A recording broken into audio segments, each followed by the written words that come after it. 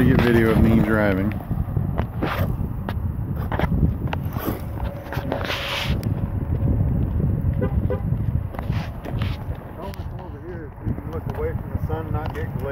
Yeah, I can't really see much because it's darkening.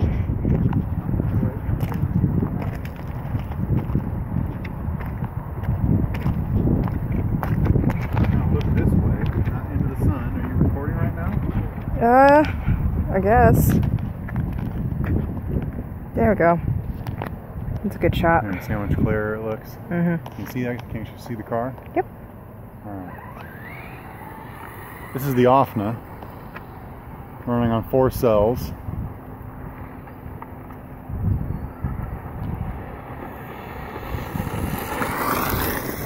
So I got it working obviously.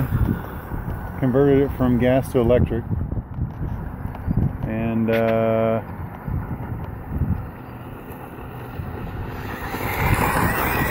that's full throttle.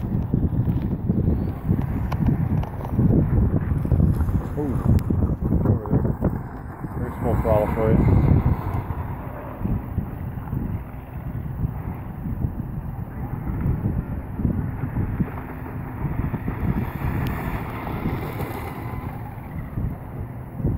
There you go. That's with the uh, Hobbywing XR8 150 amp ESC and the 2250 kilovolt motor.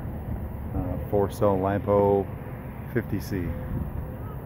So it looks to me like it's doing, let's say what? What do you think, Caitlin? About 40? About. Maybe a little less. I guess if you put it at full throttle constantly, it'd be like, what, 45?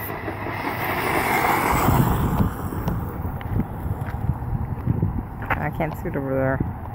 Can't see because sun? Nah.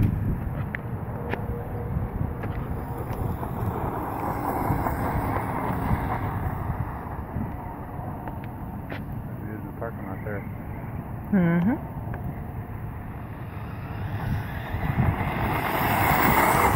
Ooh, ooh, ooh, I got a That wheel. wheel flapping. Uh-oh.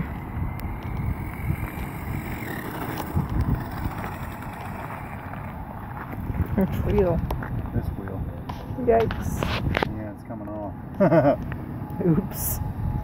Gotta re-glue that one. Okay, no more speed runs with these tires. Yep.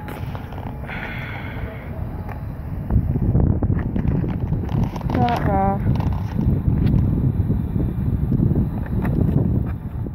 Still recording? Mm-hmm. Yeah, this is an old Ofna like like Ultra LX1 or LX2. I'm not even sure which one it was. But I converted it. This is the Ofna. I converted it to electric. By hand the hard way. And uh, oh, I need, need better uh, battery battery straps here. I need to shorten these so they hold properly. How come when those guys made it go Here you can see the 150 amp ESC. There's the 2250 kilovolt motor. And uh, so I had to put in this motor mount aftermarket. I had to buy the battery or the controller tray and the servo tray, battery tray, ESC. Had to get a new um, uh, rear stabilizer. And everything else is pretty much factory except I replaced the bearings in most everything. And I kept all the same drive axles and transaxles. Had to rework the gears inside the center diff because they were all chewed up. Everything else is uh, stock.